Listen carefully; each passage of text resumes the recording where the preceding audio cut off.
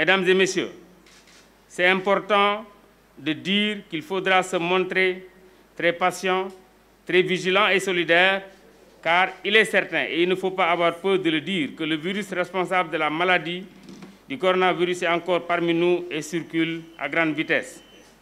Les chiffres publiés quotidiennement par les services du ministère de la Santé et de l'Action sociale le démontrent à suffisance. Ainsi, à la date d'aujourd'hui, nous avons un cumul de 10 887 personnes infectées, dont 225 décédés.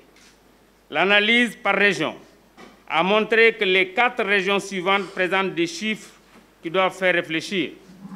La région de Dakar est en tête avec 8 085 personnes infectées, soit un pourcentage de 74 la région de Thiès vient en deuxième position avec 1123 personnes infectées, soit un pourcentage de 10,3%. La région de Durbel en troisième position avec 688 personnes infectées, soit un pourcentage de 6,3%. Et la région de Ziguinchor en quatrième position avec 279 personnes infectées, soit un pourcentage de 2,6%. Si on fait le cumul des chiffres, nous avons rien que pour ces quatre régions un total de 10 175 personnes infectées, soit 93,4% des 10 887. Il est important de préciser que près de 50% des malades ont moins de 40 ans. Et je voudrais peut-être juste avant de continuer m'arrêter pour vous montrer des chiffres. Ici, nous voyons le tableau qui montre l'évolution de la maladie. Pour les deux première barre en bas, c'est ceux qui ont d'abord moins de, moins de 4 ans et moins de 20 ans. Là où on a une bonne partie de la population, c'est ceux qui sont entre 20 et 39 ans. Ici, nous avons les 40-59 ans. Ici, nous avons les plus de 60 ans. Si on prend le nombre de personnes décédées, des suites de la maladie sur l'ensemble du territoire national de façon désagrégée, selon toujours les chiffres officiels.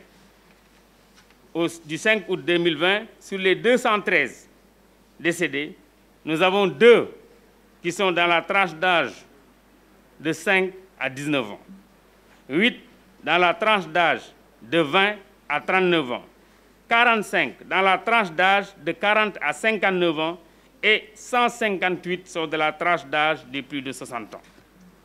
En résumé, seuls 10 malades âgés de moins de 40 ans sur plus de 6 000 malades sont décédés, contre 203, 203 décès sur 4 614 sur la cible des plus de 40 ans, avec un chiffre alarmant de 158 décès, 158 décès pour ceux qui sont âgés de plus de 60 ans.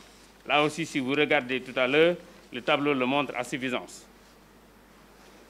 Donc vous le voyez sur les deux dernières barres, nous avons vraiment le, gros lot, donc ceux qui ont plus de 40 ans, 40 à 60, et ceux qui ont plus de, plus de 60 ans.